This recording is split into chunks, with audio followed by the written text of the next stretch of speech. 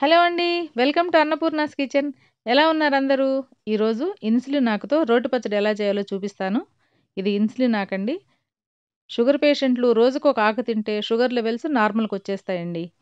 దీని రుచి మన గోంగూర లాగానే ఉంటుంది. పుల్లగా ఉంటుంది. దానికి ఏమేం కావాలో చూద్దాం.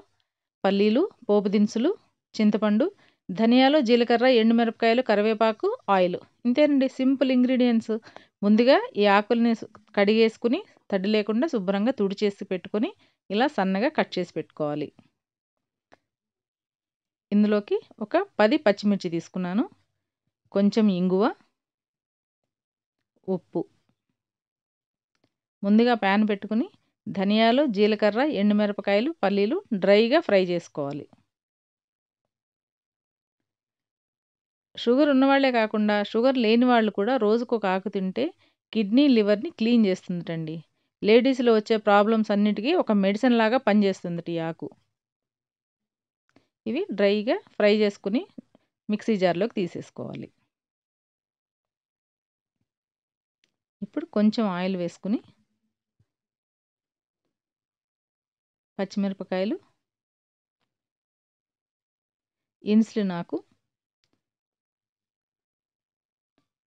నానబెట్టుకున్న చింతపండు కూడా వేసి కొంచెం మగ్గించుకోవాలి.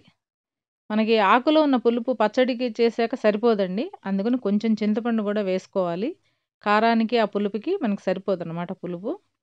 పచ్చడి రుచి రాదు. అందుకని కొద్దిగా చింతపండు వేసుకుంటే మంచి రుచిగా ఉంటుంది. కొద్దిగా పసుపు కూడా వేసి మగ్గిచ్చేసుకోవాలి. ముందుగా మనం వేయించి పెట్టుకున్న పల్లీల్లోకి కొద్దిగా ఉప్పు వేసుకొని గ్రైండ్ చేసుకోవాలి. ఇప్పుడు మనం మగ్గిచ్చిన ఆకు కూడా వేసి కచ్చాపచ్చాగా గ్రైండ్ చేసుకోవాలి. మనం రోటి పచ్చడి ఎలా చేసుకుంటామో అలా చేసుకోవాలి. ఇప్పుడు పోపుకు రెడీ చేసుకుందాం. అదే ప్యాన్లో కొంచెం ఆయిల్ వేసేసుకుని శనగపప్పు, మినపప్పు ఆవాలు, జీలకర్ర, ఎండుమిరపకాయలు వేసి ఫ్రై చేసుకోవాలి. మనకి ఇన్సులిన్ ప్లాంట్ ఆన్‌లైన్‌లో దొరుకుతోందండి. లేదంటే నర్సరీలో కూడా దొరుకుతుంది. తెచ్చి మనం హ్యాపీగా కుండీలో పెంచుకోవచ్చు. రోజుకొక ఆకు తింటే మంచిగా ఆరోగ్యంగా ఉంటాం మనం. కరివేపాకు కూడా వేసుకొని పోపంతా ఫ్రై చేసుకుందాం.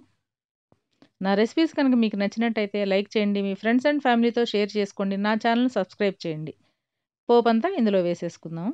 మీరు కూడా ఒకసారి ఇలా ట్రై చేసి పచ్చడి ఎలా వచ్చిందో కామెంట్ సెక్షన్‌లో కామెంట్ పెట్టండి. పుల్ల పుల్లగా, కారం కారంగా చాలా బాగుంటుందండి పచ్చడి. పోపంతా కలిపేసుకుందాం.